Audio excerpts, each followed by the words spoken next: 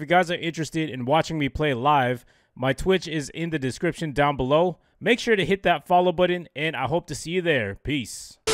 I'm going to share with you guys 10 of the best class setups to use after the 1.24 update. Now, this is going to feature a mix between the base weapons and some of the DLC weapons, all right? This is in no particular order, but we are going to start with the assault rifles. For the first class setup, we got the Rampart 17. We all know and love the Rampart 17. We got High Cal 1, High Cal 2, Grip, and Fast Mags.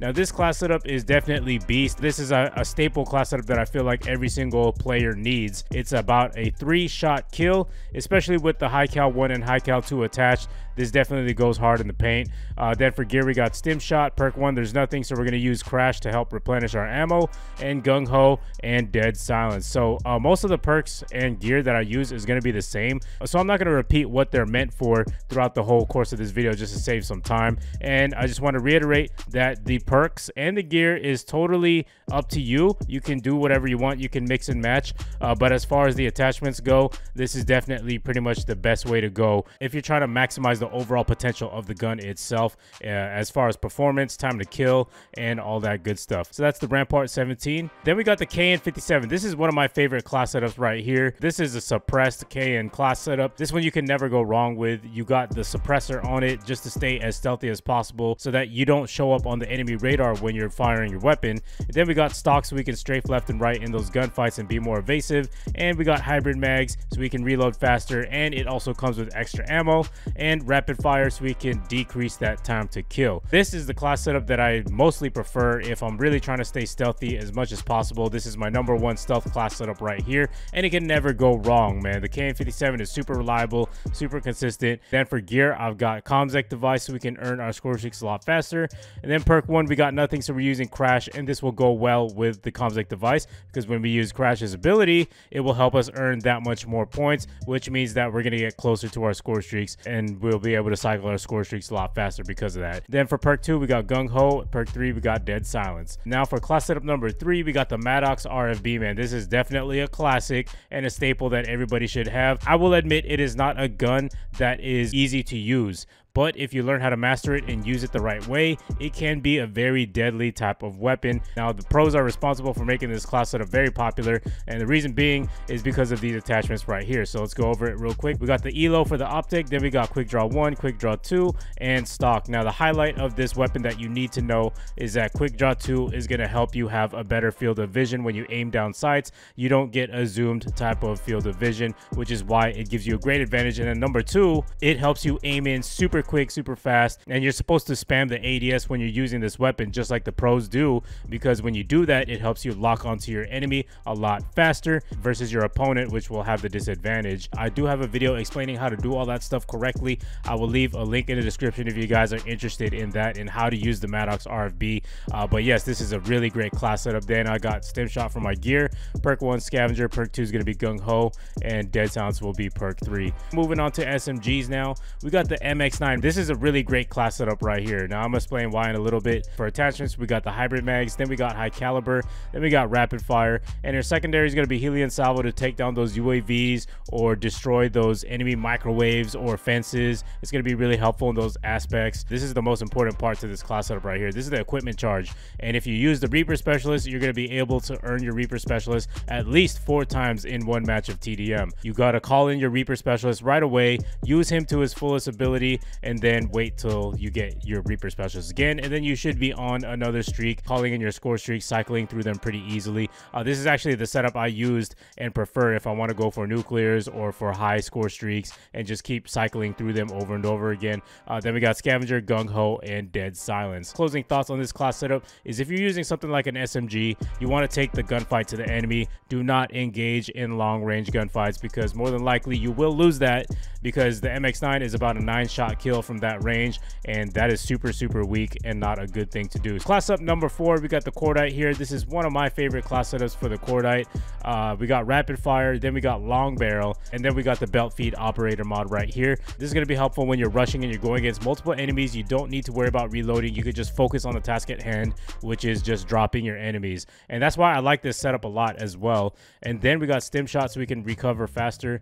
Then we got Perk 1, which is going to be Flak Jacket. This is going to help us survive revive those mesh mine or other explosives in the game, and as well as recover quickly when you're wounded from the fire and radiation. So this is definitely helpful and it adds a lot more versatility to your class setup because we don't need to worry about reloading. This comes with lots of ammo already, so you don't need scavenger or you don't need to use crash. You can use whatever spells you want. Then we got gung ho and we got dead silence. So this is my favorite Cordite class setup right here. Then moving on, we got the Saug class setup, another fan favorite right here. Probably one of the most popular SMGs in the game because pros use it as well. So we got on stock here. Then we got quick draw. Then we got grip and we got fast mags. I feel like these attachments right here are definitely necessary. All these attachments definitely help bring out the overall potential of this gun and help with the performance. This gun is really great with handling. One tip that I have is when you're in those close quarter gunfights, you're going to notice that it's really hard to lock onto your enemy from a really close distance, which is absolutely crazy because it's an SMG. You know, you expect it to be good at those ranges, but uh, you need to aim out from your opponent really quick and then adjust your aim and aim back in when you're in those close quarter gunfights. Okay, so that's something that you have to keep in mind when you're using something like the Saug. Then for gear, we got stim shot. Perk one, we got nothing, so we're gonna use crash, gung ho, and we got dead sound. So then moving on, we got the Daemon 3XP. This gun is loved and hated by many people for good reason. You know, it's a DLC weapon. Not everybody has it, but if you do have it, consider yourself lucky because this gun is definitely deadly. It will kill people super, super quickly. We got high cal one and high cal two. Then we got rapid fire and hybrid mags. Man, this is just a super overpowered class setup right here. It'll drop enemies really, really fast. The thing that makes it super OP is that it could even compete at long ranges. Of course, that's not ideal. You want to take the gunfight to the enemy using an SMG to maximize its overall potential time to kill. Then for gear, we got ComSec device so we can earn our score streaks a lot faster. Again, you could use whatever you want, but this is just my personal preference. Perk one, we got nothing on here, so we're going to use Crash. Uh, perk two is Gung Ho. Perk three is Dead Silence. Next, we got the VMP, man. I cannot include the best 10 class setups without including the VMP. The VMP is also one of those guns in the game that some people don't like because it is something that's only attainable in reserve crates. So if you do have this, consider yourself lucky again. So this gun is very comparable to the Saug. In fact, it is better than the Saug just because of its damage profiles are a lot better and the shots to kill is about five to six shots to kill versus the Saug where it's about six to seven shots to kill. So for attachments, we're using stock, then we got fast mags, then we got grip and quick draw. Now I will say you don't really need grip on it, but like I keep saying, if you want to increase the overall potential of this gun, I would definitely put on grip. If you're really trying to laser in your accuracy, I would definitely recommend grip. But if you could control the recoil, which is actually doable, this gun actually has very minimal recoil, you could replace grip with long barrel to increase your damage ranges. So that's definitely up to you. You can do that if you want. Then for gear, we got stim shot. Perk 1, we got nothing. So again, I'm using Crash. As you can see, Crash is my favorite specialist. This is a personal preference. Perk 2 is Gung Ho. Perk 3 is Dead Sound. Class setup number 9, we're moving on to tactical rifles now. Now, out of all the tactical rifles, I feel like the Swordfish is definitely the best one in the game. For optics, I'm using Reflex Sight. Then for attachments, I'm using Quick Draw, Hybrid Mags, and High Caliber. Now, the way you want to use this weapon properly is at a distance and try not to rush with it too hard. You could melt people with it up close and personal personal but that's not preferred because it's a tactical rifle. So you want to keep the distance at medium to long range for it to be super effective. And you will definitely melt people in like about one to two bursts with this class setup right here. Then for gear, I got Stim Shot, perk one Scavenger, perk two is Gung Ho, perk three is Dead Silence. So having Scavenger as perk one, that opens up what kind of specialist we could use. You could use whatever specialist you want because we got Scavenger. You don't have to worry about using Crash. For the last and final class setup, we're moving on to the light machine guns here. For LM SMGs, I feel like the VKM is definitely the most deadly one. This setup right here drops enemies in about two shots. Let's go over the class setup real quick. We got High Cal 1, High Cal 2, fast mag so we can make the reload time a lot faster. This thing brings down the reload time to two seconds from about five seconds. So that's a really big difference. Then we got rapid fire because the rate of fire on this weapon as is without rapid fire is actually really slow. So putting on rapid fire is definitely necessary. Uh, then for gear we got stim shot. Perk one there's nothing so we're using crash.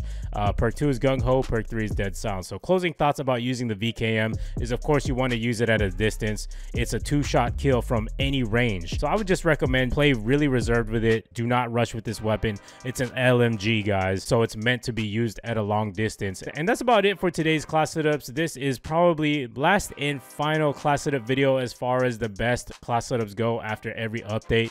Man, it's been an incredible year, guys, and I hope you guys have enjoyed the content so far. Let me know down below in the comments if you felt like I missed a class setup that I should have added, uh, but I felt like these are the heavy hitters of Black Ops 4, man. These 10 class setups right here are the ones that are going to be the most remembered because of their time to kill and their shots to kill and their effectiveness and their overall performance as weapons in general. Of course, you want to use them on certain maps.